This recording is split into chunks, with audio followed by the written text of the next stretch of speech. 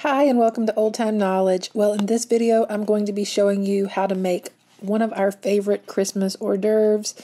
It's little miniature biscuits, ham biscuits in this case, but you could stuff these with sausage. You can put cheese in them. If you want, you can just bake them and then when you're ready to serve them, you know, have jam, different jams and jellies and things for people to have.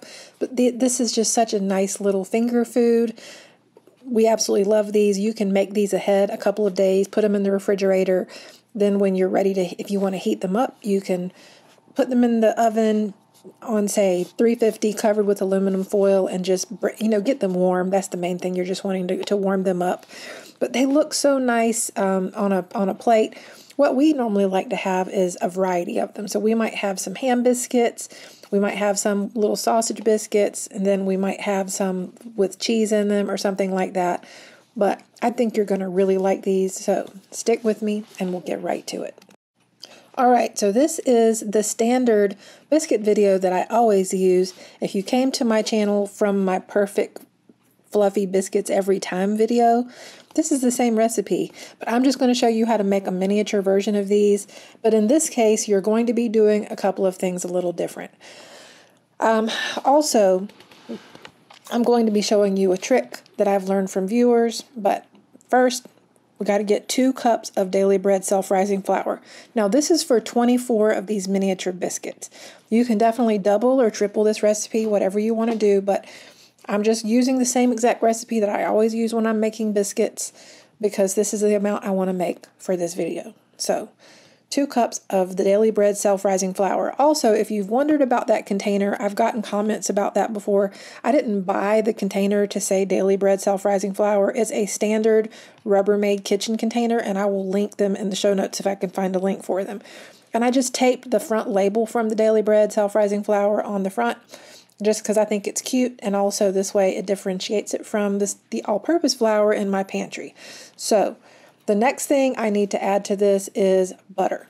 And in the past, I always just, you know, cut my butter up, put it in the flour, and mashed it with a fork. But now I've got this cool trick, y'all. Commenters on my other biscuit video had told me you should try just grating butter into the flour is so much easier. And I thought, that's genius. Why have I never thought of that before? So now I do that all the time. I love it. So you're going to put about five tablespoons of butter for the two cups of self-rising flour. And of course, double or triple as needed if you're doubling and tripling the recipe. So this is, I'm just grating down five tablespoons of flour. And the reason why you're doing this is you want to have the, the, the nice cold butter all mixed in with the flour really good. That butter is going to as it as it is in the oven and it bakes, it's going to release steam. That's what's going to give lift to your biscuits. I mean, obviously so will the baking powder that's in the self-rising flour, but the butter being really cold and then you know, cooking inside of the biscuits will cause some of that gorgeous lift as well. So, you just want to make sure that your your butter is just all mixed in really good with your flour so that you really, you know, almost can't see the butter. I mean, it should be almost like a grainy texture once you've mixed all the, the butter in. But I'll show you.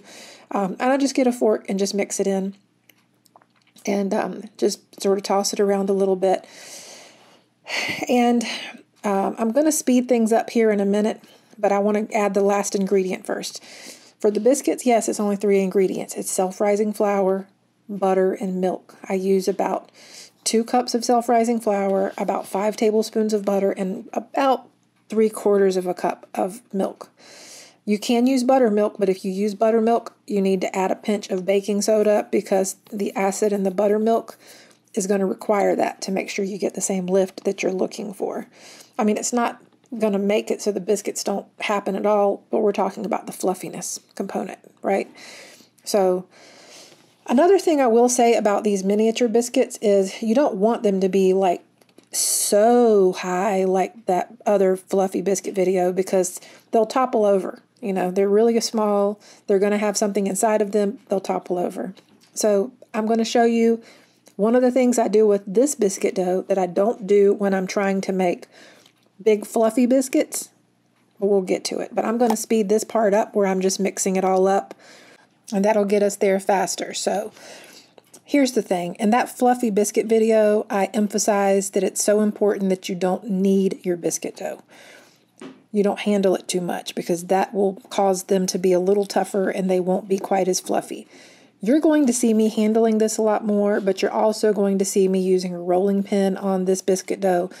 And the reason for that is I want it to be pressed out and I want it to hold together really well because, again, these are going to be really small biscuits. And it goes back to that toppling over factor. We don't want that to happen. So I'm working this dough more than I did. If you saw my cheddar cheddar biscuits video, cheddar biscuits, kind of like the Cheddar Bo biscuits at Bojangles, y'all, I'll link that in the show notes below. But with that, I also worked the dough more. And the reason in that case is because you need the dough to hold together to wrap around the cheese when you're when you're putting the cheese in those biscuits to bake them. But in this case, I've worked the dough more and I'm also going to roll it out because that's how we're going to make sure that it's nice and thin enough. And I'm going to use a, a, a little cookie cutter from my favorite cookie cutter container. And that's how I'm going to get them to be perfectly shaped so they're all uniform. And so I'm just going to speed things up again so you can see how I do this.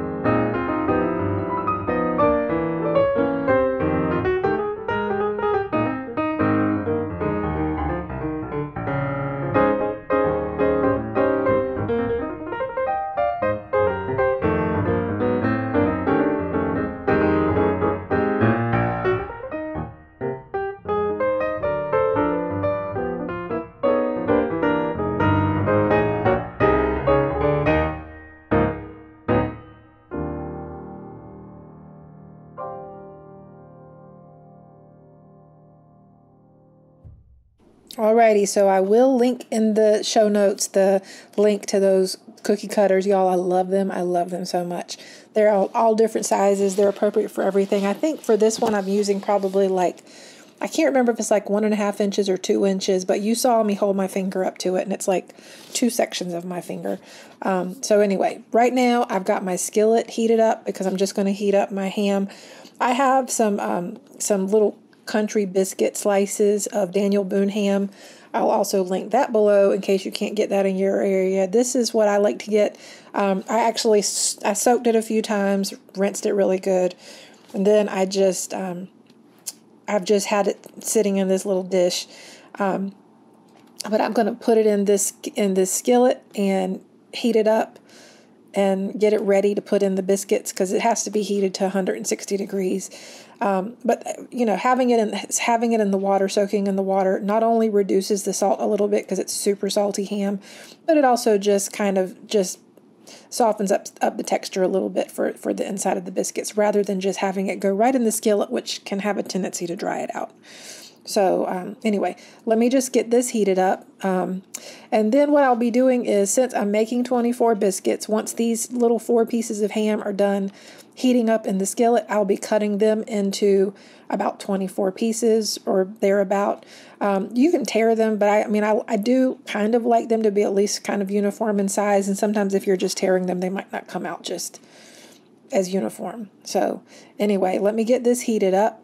And then the biscuits will be done relatively quickly. I'd never told you how what the temperature should be on the oven.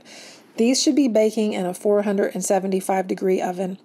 I mean, have a have a look at them at about nine or ten minutes. Um, I just keep an eye on them once they once the tops start just browning slightly, then I know that they're ready.